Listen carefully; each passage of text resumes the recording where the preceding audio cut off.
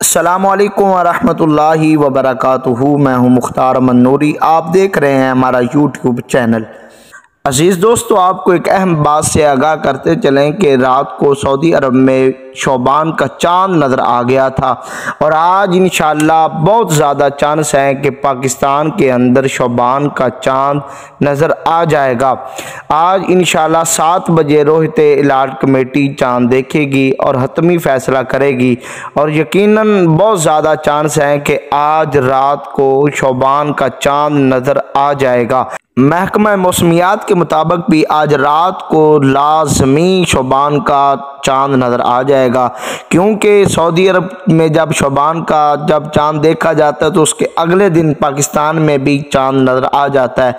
तो ऐसे ही आज इन रात को शोबान का चाँद नज़र आ जाएगा। इसका हतमी फैसला आज रात को रोहित हलाल कमेटी करेगी। उम्मीद करते हैं कि आपको हमारी वीडियो अच्छी लगी होगी। अपने दोस्तों के साथ भी शेयर कीजिएगा। वसलाम